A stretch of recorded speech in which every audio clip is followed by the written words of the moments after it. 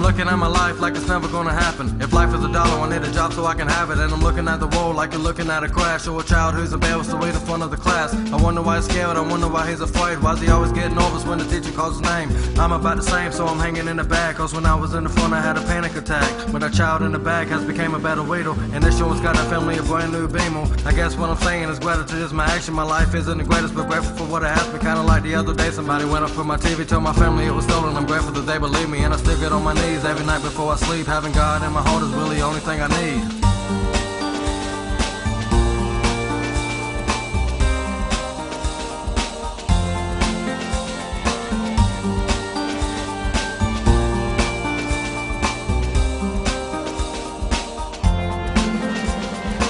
Maybe I'm caught up, distracted from reactions. My actions are really proving I'm just a spoiled brat and I'm acting like I don't care, know where my help comes from. People see me in public and I'm sure I'm looking dumb. Feeling numb, emotions hung way up on the top shelf. I don't even care about a lot of material wealth. Just give me my health and a couple of friends who wanna help. When the days are long, I'm holding on like underwater with holding breath. Please let me ventilate, I'll fill in the blanks later. If I contemplate, reevaluate things, will always be right later or right now. Maybe I should be more grateful right now. Instead of looking for wrong, I should be out living life now. So what's the hype now? It's easier said than done if I never face opposition. It's not a race I run. Mistakes are coming oftentimes, they even kind of fun but gratitude's my new attitude. I run it chasing the sun.